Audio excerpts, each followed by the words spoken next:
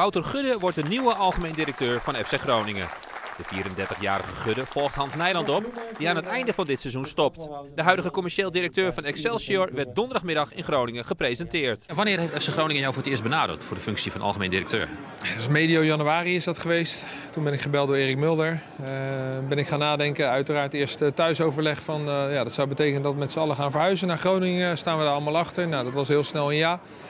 Uh, toen ben ik de gesprekken ingegaan uh, ja, en uiteindelijk sta ik hier. Wanneer was voor jullie als selectiecommissie Wouter Gudde kandidaat nummer 1? Vanaf eind, ongeveer eind, uh, eind januari. En op basis waarvan? Wij hebben een, een, longlist gemaakt van kandidaten via twee stromen. enerzijds scouting in ons eigen netwerk, de voetbalwereld en het Groningse bedrijfsleven. Daar kwamen 35 kandidaten naar voren, potentiële kandidaten. Uh, we hebben een vacature geplaatst op de website. Uiteindelijk hebben we daar 15 reacties op gekregen uit het binnenland en ook het buitenland. Totaal 50 kandidaten. Toen hebben we nagedacht over wat vinden wij nu belangrijk in de ideale kandidaat uh, voor algemeen directeur. En uh, daar is een shortlist uit naar voren gekomen van een aantal kandidaten. We hebben meerdere kandidaten gesproken.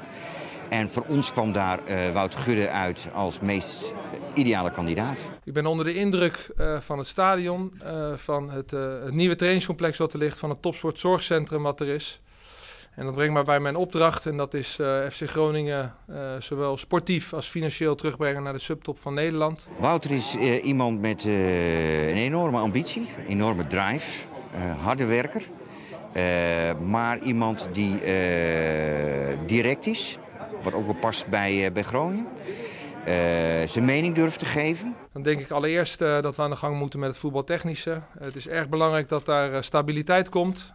de laatste paar jaren is er mijn inziens iets te veel verloop geweest in trainers, technisch directeuren, hoofdopleidingen, hoofdscoutingen. Ik ben inderdaad Rotterdamse jongen. dat is van origine redelijk direct, maar ik heb wel gemerkt dat mensen hier ook direct zijn.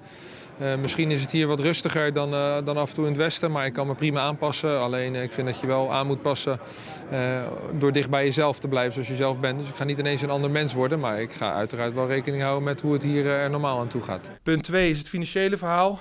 iedereen is op de hoogte van dat er een, een exploitatietekort is. Ehm, mijn mening is dat we dat minimaal beheersbaar moeten gaan maken. Dus we zullen ook dadelijk kritisch moeten gaan kijken naar de euro's, hoe die worden uitgegeven. Nu Gudde zijn handtekening heeft gezet, kan de zoektocht naar een technisch directeur beginnen. Daar gaan wij uh, nu mee starten, het tweede deel van onze opdracht. Wij zullen daar geen vacature voor op de website uh, plaatsen, omdat dat een vrij specialistische functie is.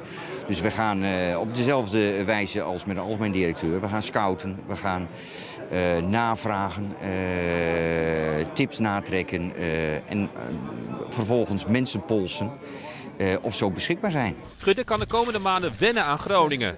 Zo kreeg hij tijdens de presentatie onder andere het boekje Gronings voor beginners. Ik heb uh, wel al bij de gesprekken gekregen dat als ze zeggen hier vaak als, iets, als er een mooi stuk bijvoorbeeld in de krant staat of iets positiefs, zeggen ze kan minder. Uh, dus die heb ik alvast in mijn binnenzak zitten.